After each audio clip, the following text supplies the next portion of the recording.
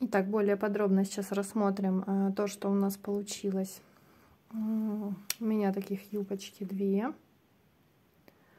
Значит, здесь я все это показывала, как обрабатывать. Единственное, что на вот этой юбке, на белой, здесь э, еще есть задний шов. Он обрабатывается точно так же, как боковые швы. Э, только вот здесь вот оставляется на молнию на этой юбке. Как мы краили эту юбку, как я краила, я показывала. Как ее моделировать, я показывала точнее. То есть я выбрала для себя оптимальный вариант. Из выкройки солнца сделала вот э, не солнце, а такое, ну, расклешенное. То есть зауженное солнце, я так его назову. То есть не всегда мне нужно вот здесь вот большое расклешение. Значит,